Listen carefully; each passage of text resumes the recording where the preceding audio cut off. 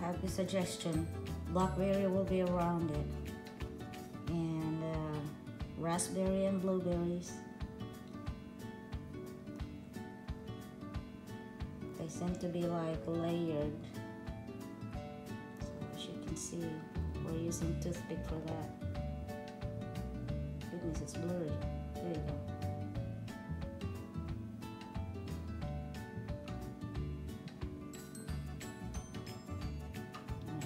What it looks like on the finished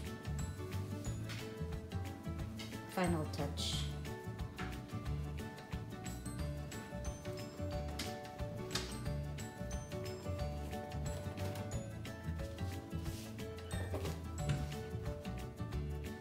Ready for delivery.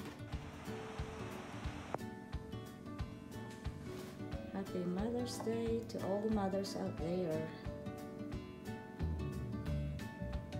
you for watching.